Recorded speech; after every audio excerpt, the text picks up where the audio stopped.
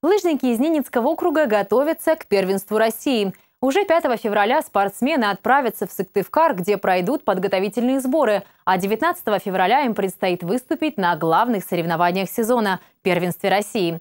По мнению тренеров, у наших спортсменов есть шансы заявить о себе. Кроме того, Виталий Потуткин и Карина Чепсанова представят Ненецкий округ на финальной спартакиаде в Красноярске. О том, как готовят лыжников в Ненецком округе, в материале Ольги Русул.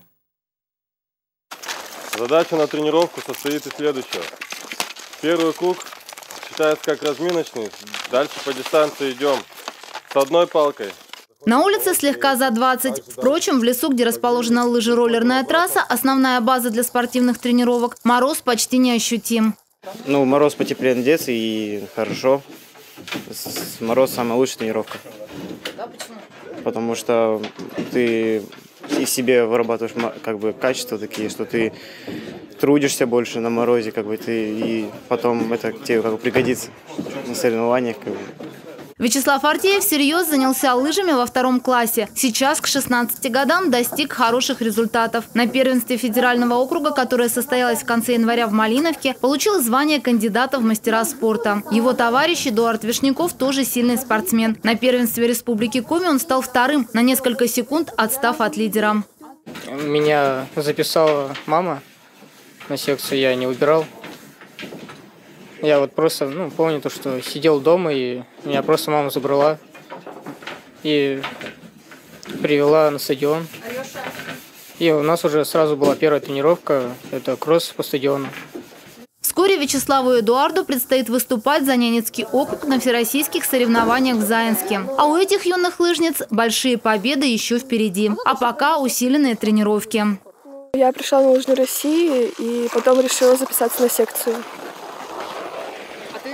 А, с детства хожу, ходила с папой э, кататься на трассу, и мне очень понравилось. И мне стал проявляться к этому интерес. Меня записали родители в первом классе на лыжную секцию.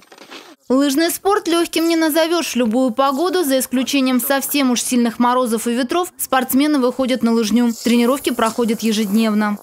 Укрепляешь свое здоровье, ну, для своего развития это также полезно. И становишься сильнее.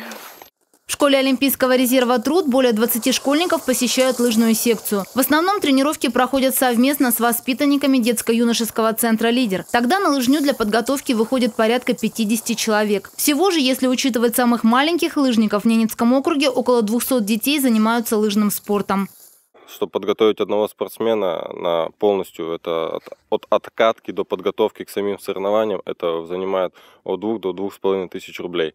Ну, вот так вот. То есть у нас спортсменов 18 на сбор, это каждого подготовить, это тоже достаточно весомые такие суммы выходят.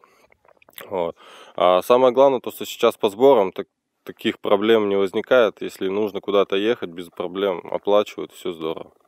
Тренеры отмечают, в последнее время на спортсменов-лыжников в регионе обратили внимание. Поддержка ощутимая и на пользу. Ведь Ненецкий округ уже прославил лыжник Александр Терентьев. Вырастить еще и ни одного в регионе совсем не проблема. Тем более, что кандидаты есть. Главная поддержка. Нужно увеличивать количество начальной подготовки детей, чтобы от самых маленьких до самых больших у них был стимул заниматься, так как у нас самые большие э, ездят и показывают результаты, и чтобы маленькие на них также смотрели. И затем это получается то, что такой стимул у них идет борьба между собой, и в итоге такая конкурентная борьба вызывает, э, показывает хорошие результаты. 5 февраля спортсмены отправятся на спортивные сборы в Сыктывкар. Это подготовительный этап перед первенством России. Тренеры уверены, наши лыжники смогут серьезно заявить о себе. Ольга Русул, Дмитрий Лукевич, телеканал «Север».